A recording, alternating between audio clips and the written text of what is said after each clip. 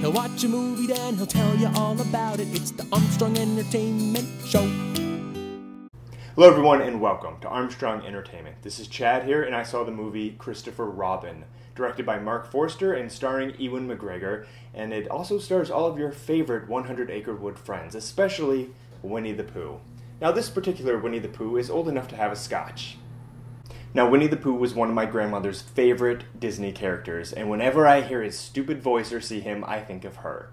So, needless to say, I have this connection with Winnie the Pooh, so I already knew I was going to like this movie regardless of how good it was. Now, I'll just get right into it. Disney is redoing all of, they're taking all of their animated classics, such as 1977's Winnie the Pooh, and creating a live action film. Now, obviously, there's been Beauty and the Beast, Cinderella, The Jungle Book, Maleficent, and this is their latest Winnie the Pooh.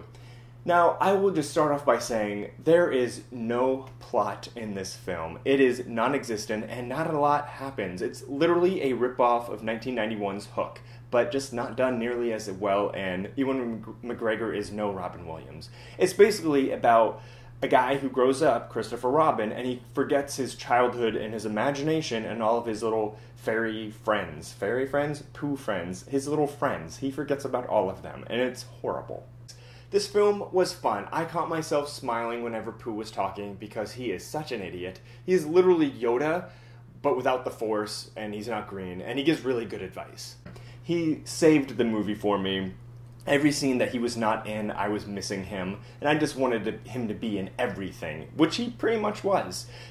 All the other characters are fun too, but Pooh is just the saving grace. He's the one who's able to scoop up everything and just make you smile and enjoy what's what you're watching, which is basically nothing. There are definitely some cute moments in this film, but I wasn't really sure if it was supposed to be a children's movie or an adult movie. It kind of falls in that weird limbo area that it, it's just not good for either audience. The children are kind of scared and the adults are kind of bored because nothing's happening. Oh, Piglet! Little Piglet isn't gay anymore.